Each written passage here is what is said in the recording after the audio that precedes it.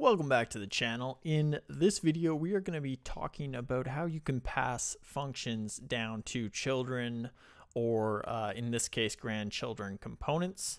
Um, and then you can go ahead and call them from uh, said children or grandchildren. All right, so let's get right into this. Uh, this is just a Next.js app, uh, scaffolded right here. Really nothing other than these three uh, components in this components folder here. Uh, and if we look at our index.js, that's kind of our entry point where we have uh, our parent component. So if we check this out, we got our parent in here in the index, and then there we have uh, the parent, which has our first child, and you can see on the right here, uh, kind of this uh, tree of um, uh, components right here. So we got our parent in there, we have a child, and then if we go into uh, this child right here, we have our grandchild, which is right there. So what we're gonna do here is just create a basic function where maybe we'll add two numbers or something together, uh, and we'll create that in the uh, parent component here.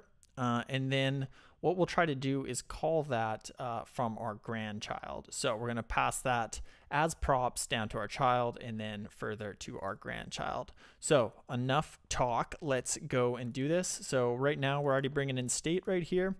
All right, so let's create some state. So we'll say const and we will say uh, count and set count like that. And then that'll be equal to use state like this and we'll just set the initial count to zero like that. Now let's come down uh, right below here and we're going to create a function here. So we'll say function and we'll just say uh, add two to the number. So we're just going to say add and all we're going to do is add two to a uh, particular number that we're passing in. So we can come in here and then from here we're going to set the count and we'll just say uh, the num coming in uh, and we'll just add 2 to whatever num that is like that. Okay, so super basic um, function right there, but basically we're going to show you how we can pass this function down to our child and eventually our uh, grandchild. So let's uh, come in here. Uh, first, we'll just do an H2 like this, and we'll just put the count here so we can see it just like that. Okay, now in order to pass this function, we can just pass it in just like any other prop. So we can say add two like that and just say that is going to be add two as well.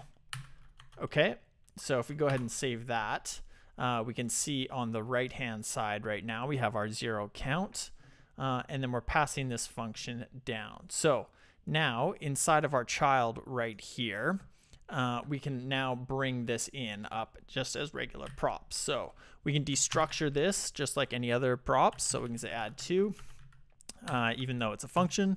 And then we can come down here and we want to pass this along one more time just to show you that we can uh, pass it down multiple layers. So we'll say add two again, and that's going to be equal to add two also. And we can close that off. Okay, now we're down to our uh, final step right here in our grandchild. So we can come in here and we can bring it in again. So we'll just say add two like that.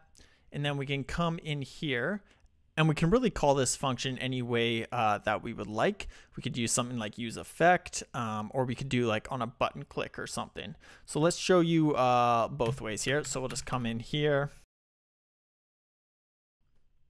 and let's just add a button just like this. And we'll just say add uh, two, just like this. And then we're gonna have an on click right here in order to call this. So we will say uh, on click, and that is going to be uh, an arrow function like that.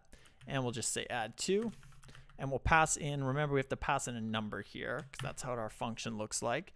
Uh, so we'll just say 100 to start. And if we go ahead and save that, now we come over here, we can see we got our button right here. Uh, we can go ahead and click that and we get 102 just like that. So that is uh, looking pretty good. Um, now another way we might want to call that, we could bring in uh, use effect like this and call it anytime uh, on first load that our function loads. So we could say use effect and we will uh, set this up with an arrow function like this. And then inside here, we'll just say add two and we will uh, we pass in a different number. So say 300, And then finally, we just want to run it on the initial uh, load. So we'll just pass in the empty array like that.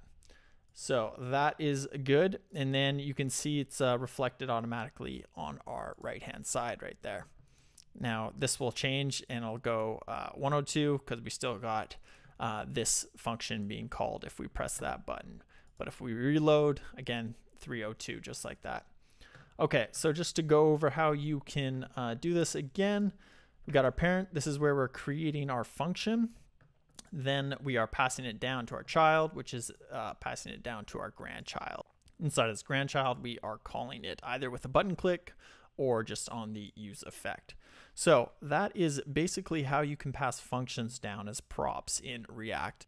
So one common time this might pop up is if you have a modal and you want to do something on a click. Uh, so you might have your modal in your uh, parent component and you might want to show it and hide it uh, in one of those children. So that could be uh, one reason you might want to do something like this, but I'm sure there are plenty others.